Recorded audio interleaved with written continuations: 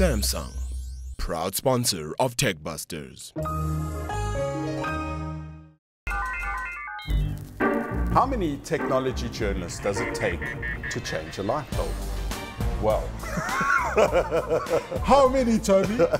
in this instance, it takes two because we're looking at quite a clever new range of LED lights, and uh, it's the big change happening in lighting around the world. The fact that these very clever lights have reached a point where you can start putting them in your home.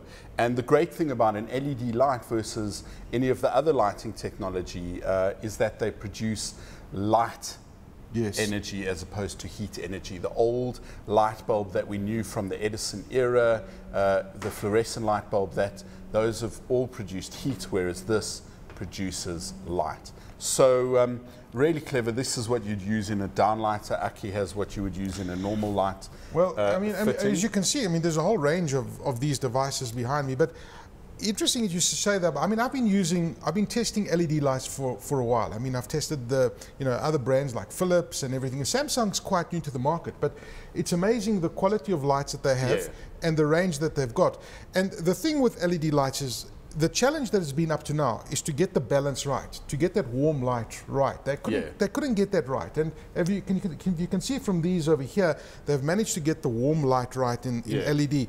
And I must say that in my home, my electricity usage has dropped. I monitor my electricity religiously. I mean, I can tell you at any one point, whatever I turn on in the house, I've got a monitor that tells me how much electricity I'm using. What was your consumption at 3 a.m. last Thursday? At 3 a.m., I used 21 kilowatts. Ah, well, let's see. No, but the thing is, with, with LED lights, these save 80% Yeah. less electricity than what And normal a, lights it's are. a purer form of light because it's just the light. Exactly. It- the old incandescent light bulb was producing light as a byproduct of heat. Yeah. But the only off-putting thing with these things is the cost. I mean, these lights on average cost about 100 bucks. You know, they've got a range that they cost. But I, I don't know about you, but I get fed up with every, you know, like month, you've got to replace those uh, dichroic lights on in, in, in, in my thing. And that costs 25 bucks. Now, when you consider that one of these costs 100 bucks, more or less, Look, and I'm you're a- getting I'm a- 15 years. 15 years is a long time, eh? It is indeed. I'm a generation behind you because I've got those CFC Ah, fluorescent lights. But what I want to know is, uh, can you dim one of these?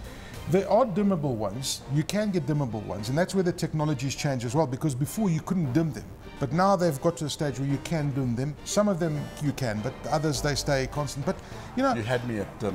Um, the dimmable ones cost a little bit more, but they are absolutely fantastic. And I'm a, I'm a huge fan of LED lights, and I'm slowly, slowly changing my whole house around because it's expensive. You know, if Yeah. you if you can't, I don't know if you've done an audit of how many globes you've got in your house. I have not. I've got about 45 globes. Now, 45 globes is four and a half grand. So I'm doing it in stages. But you know, if you've got a home, do that audit.